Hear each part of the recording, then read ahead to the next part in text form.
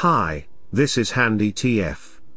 In this video, we are replacing thermostat in a Whirlpool Energy Smart Water Heater.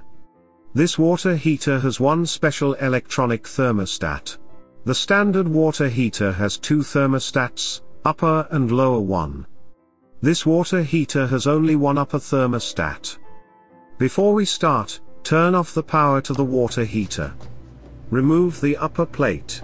Lift the insulation flap, and use a piece of tape to hold the insulation flap, up and out of the way.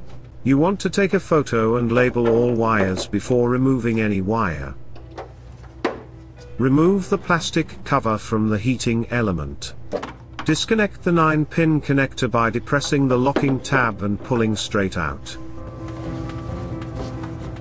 Loosen the three screws, and remove the wires by pulling straight away from the terminals.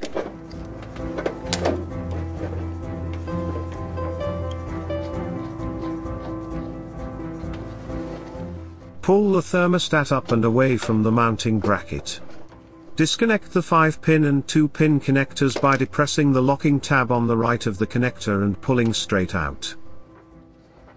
I use a tape to mark the two wires in second terminal on the left, so it will not be mixed up with the wire we are going to remove next. Loosen the two screws on the bottom of the thermostat and remove two more wires.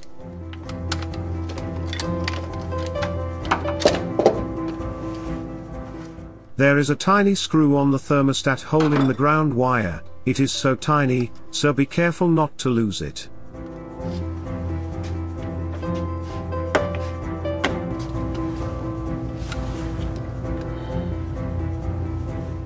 There is a clip on the thermostat holding the ground wire, I have to break it with a small flathead screwdriver in order to remove it from the old and put it in the new.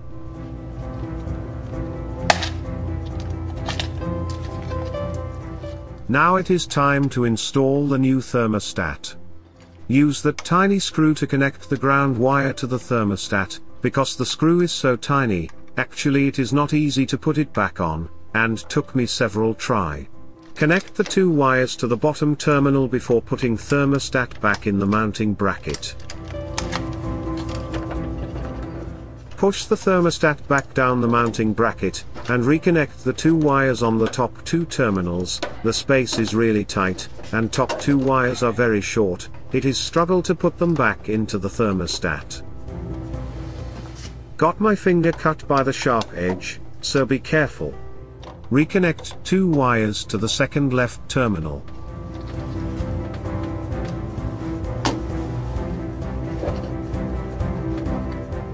Hi, please hit the like and the subscribe buttons below, this will encourage me to make more free videos to help more people.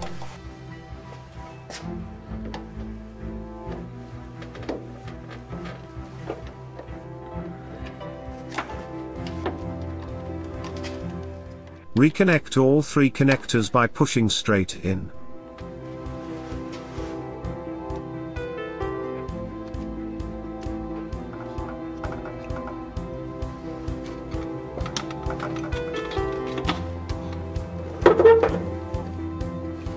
Put back plastic cover on the heating element, and the insulation flap, reinstall the top plate. Finally turn on the power to the water heater. The water heater will go through some diagnostic checks and may not heat the water for approximate 8 minutes. Please like and subscribe, thank you for your time, Handy TF.